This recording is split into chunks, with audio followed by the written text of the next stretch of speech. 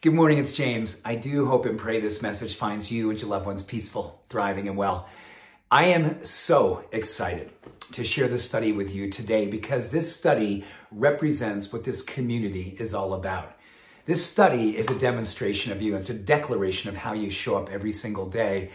And I just want to bring this to you under the influence of my own deep, deep gratitude that I feel for you, that I feel for this entire community the way that you show up, the comments that you share, the way that you, I, the way that I know that when we do our little five minutes here every single morning, we collectively just decide to go out in the world and outshine the darkness and do so with a level of grace and humility, with an emphasis on humility that the world needs to see today. Two studies that just came out that you were going to go, oh, yes, here, here it is. You know, when you read studies like this in a time when selfies and self-promotion and sh shameless self, whatever they call that these days, like just self, self, self, self, self, this study comes out at just the right time. It's a study that's been going on for the last 27 years, but they decided time was now to publish it. Two studies that were actually published in the Journal of Integrative Psychology that spoke to the power of humility the power of humility. They looked at it from young people, teenagers. They looked at it from people well into their 70s and 80s, tracking people who, answering questions each and every day, you could just tell that they were in it for something bigger than themselves. That the way that they believed that humility and kindness was the DNA of how they wanted their life to be represented and demonstrated came through them in such a way that it demonstrated right directly for young people to lower the incidence of depression, anxiety disorder, even suicidal ideation. How about that?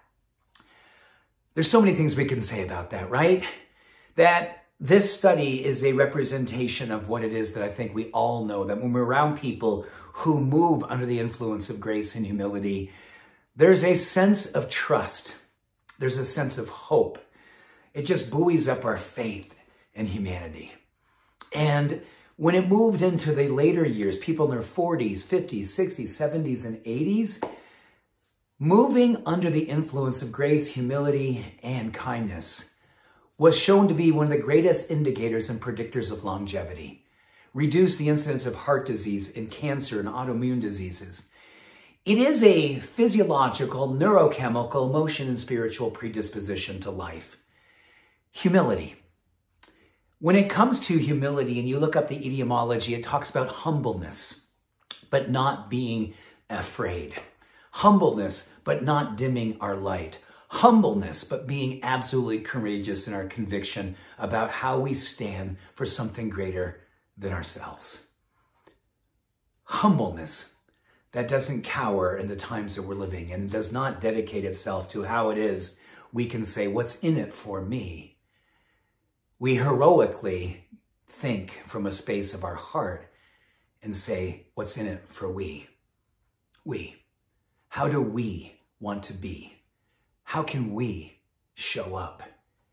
How can we be the change that we absolutely need to see and be in the world right now? Humility.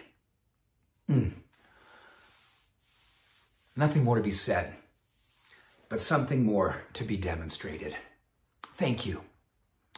Thank you for being the demonstration of this type of research. Isn't it wonderful when science catches up with spirit? Spirit has always known this since the beginning of since the beginning. Just and we're getting an opportunity to look deep within right now and do something beautiful for something bigger than ourselves right now. The world is so vulnerable to see something beautiful, something brilliant, something kind, something graceful, and something with humility. Thank you. Much love. All blessings on your path. Bye for now.